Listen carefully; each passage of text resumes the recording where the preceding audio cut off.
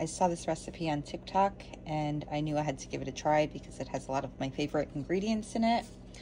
You're gonna want a pound of bow tie pasta, one pound of ground sausage, one cup of sun-dried tomatoes, some minced garlic, a quarter cup of flour, one cup of heavy cream, one cup chicken broth, one cup Parmesan cheese, half a cup of mozzarella, a lot of spinach, and you're also going to want to keep two to three cups of the water that you cook your pasta in.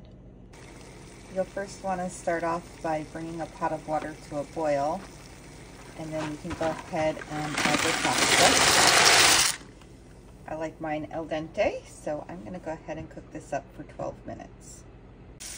While your pasta is cooking, you can go ahead and add in your sun-dried tomatoes and some minced garlic. And then go ahead and stir that up. Now I'm going to go ahead and add in my cup of heavy whipping cream.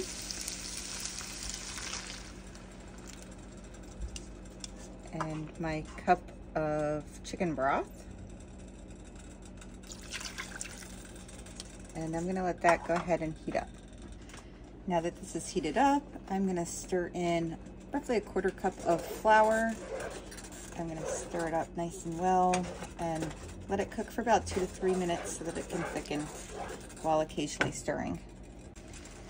Now I'll go ahead, I'll add in my cup of shredded mozzarella cheese, or shredded Parmesan cheese and a half a cup of mozzarella. And I will go ahead and mix this up. Now that this is nice and cheesy, I'm gonna go ahead and add in two to three cups of my pasta water.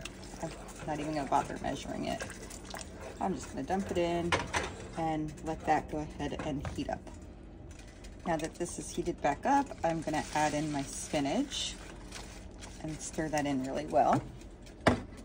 And now that the spinach has been stirred in well, it's time to add the pasta and go ahead and stir that in.